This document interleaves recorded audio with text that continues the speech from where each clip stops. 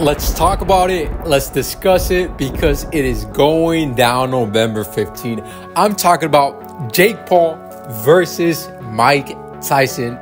Both of them have shown videos of them training. Both of them are putting sparring sparring partners down. Both of them are ready to go. Folks, this is a fight that should have happened a few months ago in the summer. But Mike Tyson, because of medical reasons, was not able to step inside the square circle. So the fight was postponed, and we're finally getting it on November 15.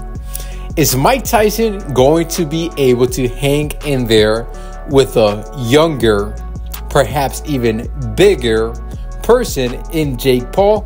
Or is Mike Tyson experience, his agility, his reaction, his second nature of being a straight fighter in the square circle going to take over?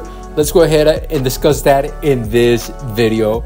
But first, let me take a moment and thank every heavy hitter out there who has subscribed to the channel. Big ol' thank you, big ol' shout out to you.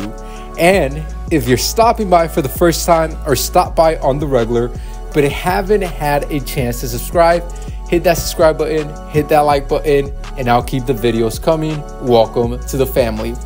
So, in analyzing the clips that went up on social media of Mike Tyson knocking down a sparring partner and Jake Paul knocking down a sparring partner. One thing is obvious Mike Tyson is explosive. There's two different types of fighters in front of us. We have an explosive Mike Tyson who comes in, chin tucked in, swinging, swinging, swinging, throwing punches and bunches. That being said, he is older and his muscle memory might be there, but his muscles might not respond, might not have the same reflexes they had when he was younger. And is that going to work against Jake Paul? Well, we'll find out on November 15.